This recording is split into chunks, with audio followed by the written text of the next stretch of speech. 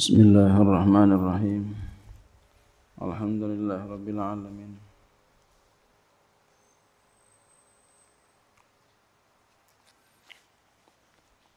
بسم الله الرحمن الرحيم. الحمد لله رب العالمين.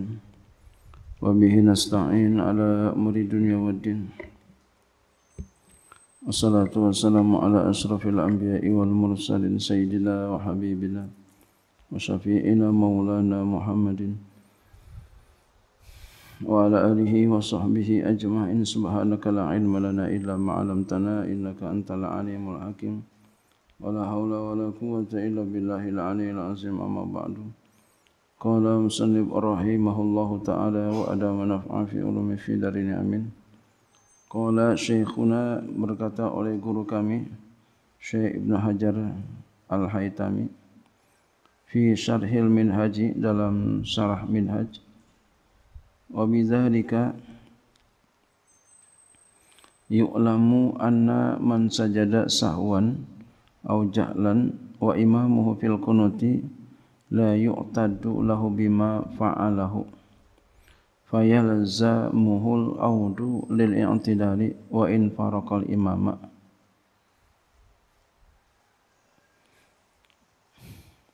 akhzan min qawlihim law zanna salam al imami faqama summa alima fi qiyamihi annahu lam yusallim lazimahu al qu'udu li yaquma minhu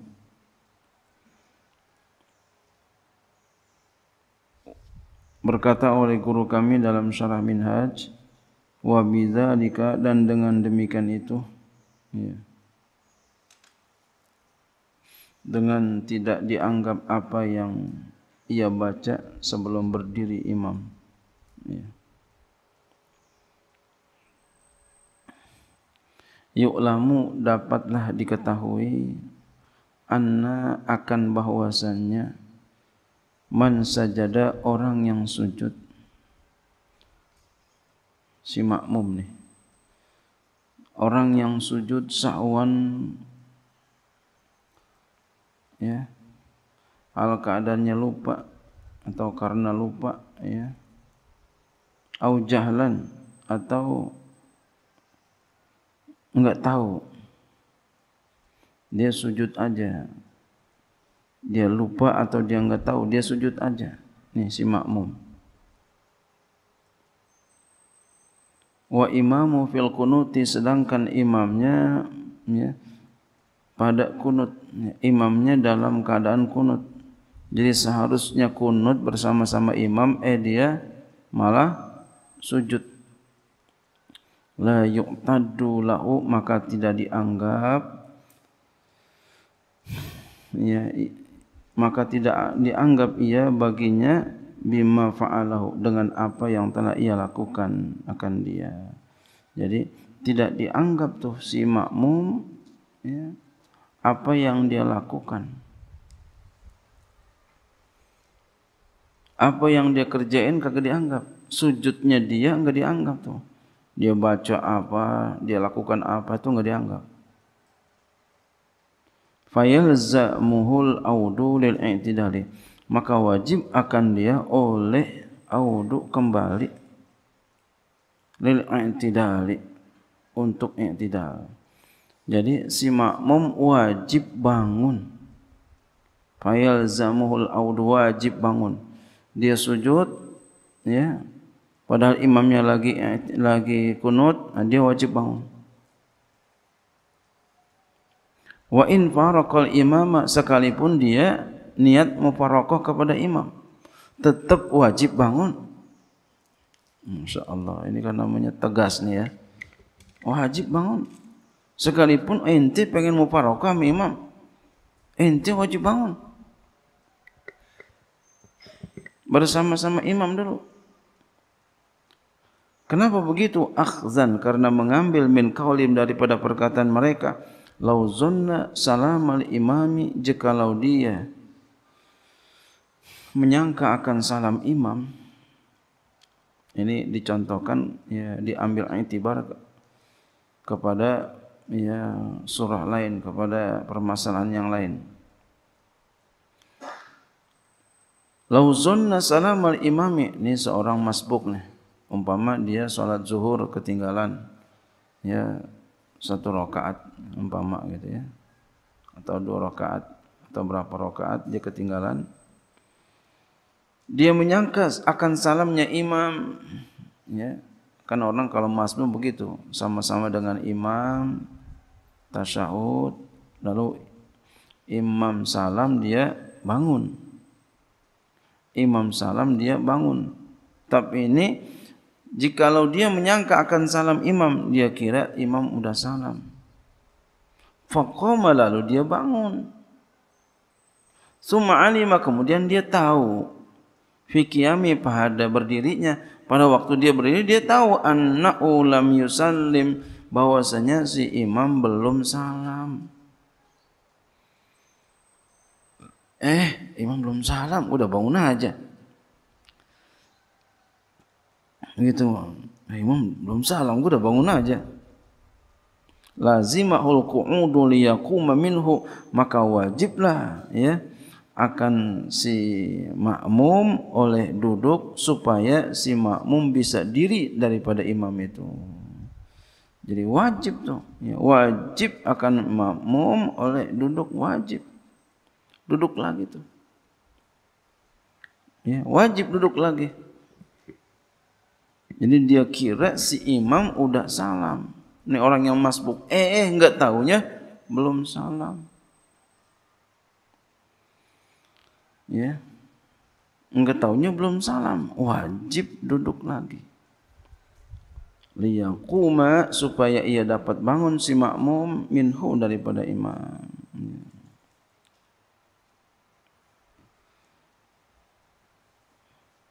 Wala yaskutu dan tidak gugur. Wala yaskutu enggak gugur. Duduknya itu enggak gugur. Ya.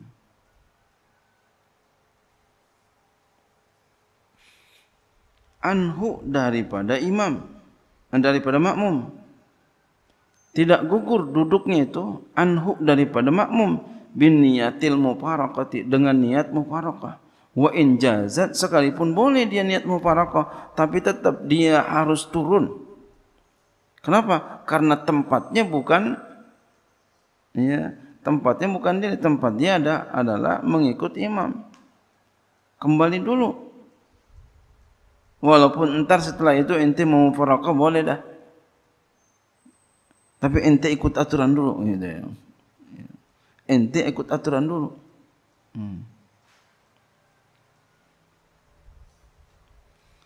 Kenapa? Lianna qiyamahu waqa'a lagwan. Karena bahwa dirinya tu si makmum yang masbuk jatuh ya hal keadaannya lagu sia-sia. Dia harus turun dulu. Padahal imamnya mau salam tuh. Men belum salam aja. Dia udah diri aja. Ini artinya apa? Kita itu harus mematuhi peraturan. Kita itu harus mematuhi pelaturan. Siapa yang tidak mematuhi pelaturan, gugur. Tas kutu. Ya. Atau yas kutu, gugur. Siapa yang tidak mengikuti pelaturan, gugur. Tas kutu. Ikutin pelaturan. Seperti ini kan. Padahal kan imamnya tinggi lagi ke salam. Tapi mesti ikutin dulu. Padahal ya walaupun dia diri aja kan tetap salam dikit lagi salam. Kenapa sih mesti bangun turun dulu? Kenapa? Ikutin peraturan. Jadi pelajaran di dalam sembahyang bahwasanya kita harus mematuhi peraturan. Siapa yang tidak mematuhi peraturan, batalat salatuhu. Ya. Batal salatnya dalam salat. Kalau kita dalam organisasi, batal organisasinya ya. Orang tua eh, murid eh, anak kepada orang tua batal baktinya sama orang tua. Murid sama guru batal baktinya kepada guru. Ya anak buah sama bos batal pengabdiannya. Jangan sampai kayak begitu.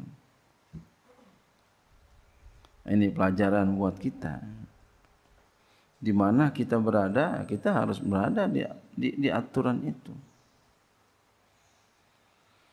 Kita yang harus menghargai aturan di situ.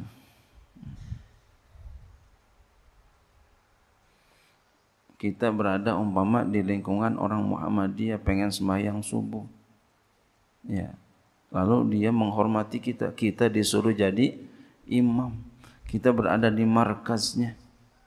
Itu orangnya sampai ratusan orang bahkan ribuan orang. Umpama dalam satu haflah acara. Kita tahu dia enggak pakai kunut. Dan di dalam mazhab kita pun kunut hukumnya sunnah. Mana yang kita kedepankan? Persatuan kesatuan atau sunnah? Yang padahal kita doang di situ pribadi. Ya. maka kita harus ikutin hargai aturan yang ada di situ kita enggak kunut. Atau pengen kunut tapi yang sebentar yang enggak ketahuan enggak oleh mereka. Kita enggak kunut. Nah, begitu pula kalau dia berada di lingkungan kita. Kita kunut dia enggak kunut. Kita suruh dia jadi imam. Ah, dia juga akan dia harus mematuhi peraturan yang ada di kita namanya itu mengikuti peraturan bertoleransi. Dia enggak kunut karena berada di lingkungan kita. Nah, artinya apa? Di mana kita berada, kita harus bisa ya, berasimilasi. Kita harus bisa menyesuaikan diri kita ada di mana. Itu sesungguhnya bahasa dakwah. Begitu. Kita kembali lagi masalah kita di sini. Wa min samma law atamma jahilan. Dan dari alasan di sana ya wa min sama ya Lau atamma jahilan jika lau dia sempurnakan hal keadaannya enggak tahu. Disempurnain aja tuh. Apa tadi dia diri aja udah, dia enggak turun lagi. Eh, ntar dia aja salam juga imamnya, gue diri aja dah umpama. Ya. Hal kadang enggak tahu, dia enggak tahu itu. Lagha, maka sia-sialah ma atabihi apa yang ia datangkan dengannya. Fayu'iduhu, maka ia ulang akan dia. Wa yasjudu lisahwi dan dia sujud karena lupa. Itu konsekuensinya begitu. Hmm aturannya. Bila mana dia melakukan pelanggaran. Wa fi ma idza lam yufariqhu dan pada sesuatu yang apabila dia tidak mau farakah kepada imam. Dia enggak mau farakah. In tadhakkara jika dia ingat aw alima atau dia tahu wa imamuhu fil kunuti sedangkan imamnya dalam keadaan kunut ya imamnya dalam keadaan kunut. Nah. Ini ya dia enggak mau parakah. Ini mah ya, dia enggak mau parakah. Dia umpama turun aja ke bawah atau dia tahu imamnya dalam keadaan kunut. Fawadihun maka yang jelas annahu ya'udu ilaih bahwasanya dia kembali kepadanya ikut imam. Aw huwa fi sajdatil ula atau ber, ia berada di sujud yang pertama. Ada maka dia kembali lil i'tidali untuk i'tidal. Ya, dia berada di sujud yang pertama. Ya udah sujud dia. Ya. wa sajada ma'al imami dan dia sujud bersama imam. Au fi ma ba'daha atau pada apa yang setelahnya setelah sujud falladhi yazharu maka yang jelas annahu bahwasanya yutabi'uhu dia ikut imam. Iya. Dia ikut imam. Wa ya'ti bi dan dia datang dengan satu rakaat ba'da salamil imam setelah salam imam. Jadi apa kalau begitu? Enggak dianggap dia punya perbuatan tadi. Dan dia telah melakukan pelanggaran jadi nanti dia harus tambahin satu rakaat. Ya. kalau kita mungkin bahasanya apa hukumannya gitu ya tunggu dianggap kita ulang lagi jadi harus kita ikutin aturan hmm, jadi ini masalah yang sangat halus sekali ya. yang tukang ngaji aja kalau kagak diinget-ingetin lupa ini